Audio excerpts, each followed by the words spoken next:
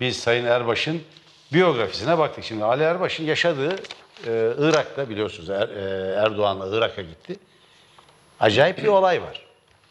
Rudav bir e, Kuzey Irak Kürt Federe Devleti'nin bir haber ajansı bu Rudav, bir medya kuruluşu. Rudav'ın muhabiri kendisine Arapça bir soru soruyor.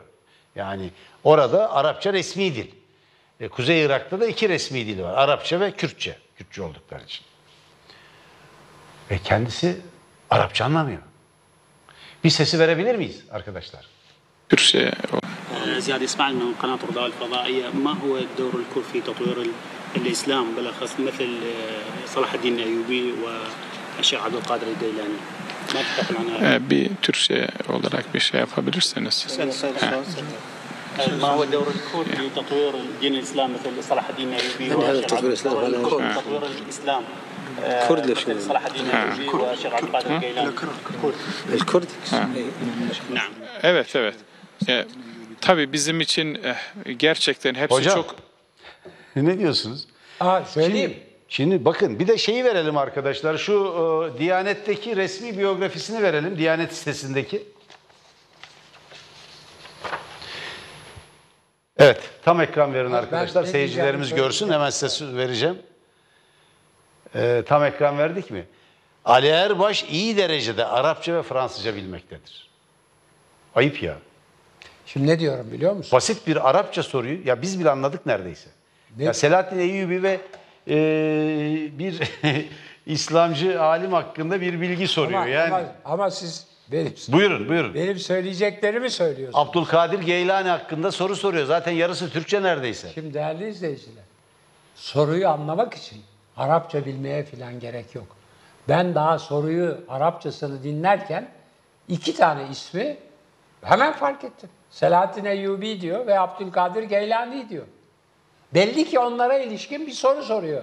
Orada biraz kıvrak bir zeka der ki bunlar işte tarihimizin önemli iki lideridir, düşün adamıdır ve askeridir filan diye kon- konuşur gider. Şimdi hocam devam edeyim mi? Şimdi tam Buyurun, soru şu. Buyurun. Selahattin Eyyubi ve Abdülkadir Geylani'nin İslam'a hizmetleri hakkında ne düşünüyorsunuz diyor. Biliyorsunuz Selahattin Eyyubi e, aynı zamanda bir Kürt e, komutandır, bir Kürt Müslüman komutandır. Hatta bazı Kürt milliyetçileri ya Haçlıları yenen kocaman bir ordunun komutanı ama aklına bir Kürt devleti kurmak gelmemiş. İşte ise tarihte bir devletimiz olurdu diye eleştirenlere rastlamıştım. Çok yani espriyle çok gülmüştük. Ee, Selahattin Eyyubi İslam tarihinin büyük kahramanlarından biridir. Haçlılara karşı başarılı bir savaş vermiş. Ee, Kürt kökenli bir Kürt komutan.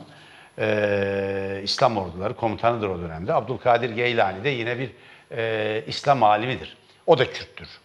Ee, dolayısıyla Rudav muhabiri de hocam Kuzey Irak'ta Barzani bölgesinde Kuzey Irak e, ne de ya da Irak Kürdistan Federe Devleti e, diye biliniyor.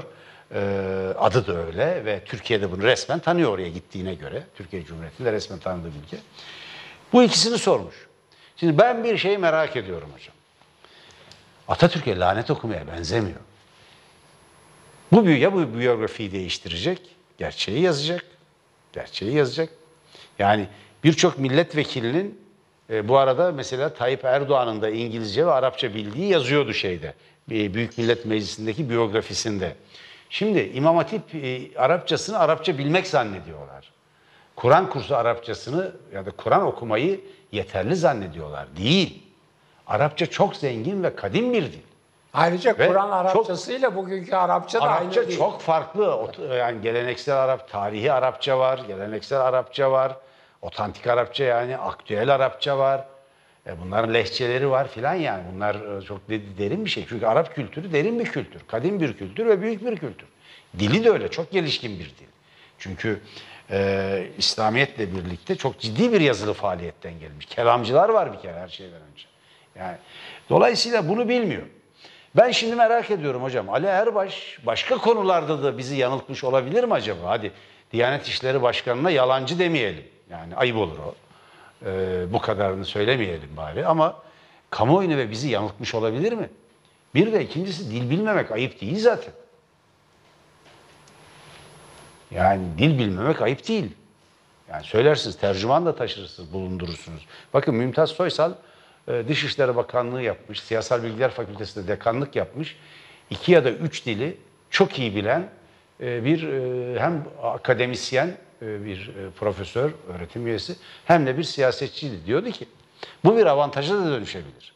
Çünkü dil bilseniz bile bir tercüman kullanmakta yarar var. Cevabınızı hazırlarsınız diplomatik görüşmelerde. O yüzden mesela Putin ana dili düzeyinde aksansız Almanca konuştuğu halde Alman mesela Merkel'le görüşmesinde tercüman kullandı Rusça. İngilizcesi de var.